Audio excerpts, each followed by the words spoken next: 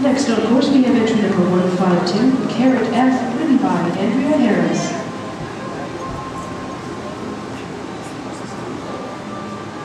Spirit, he's eight.